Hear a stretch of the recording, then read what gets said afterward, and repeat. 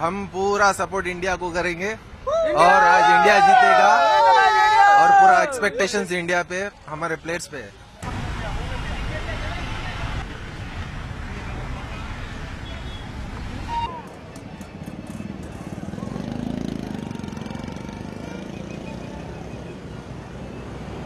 Yeah, I'm expecting like uh, we won uh, test all three.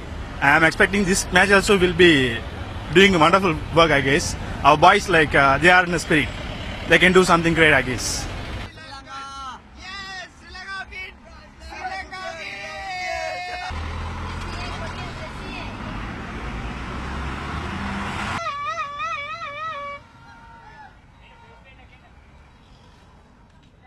There are a lot of players in the team, even though they try to win because it's a home ground. I hope Sri Lanka try to win today. At the same time, India also a very strong team. They will give a good fight. Uh, we will see the outcome.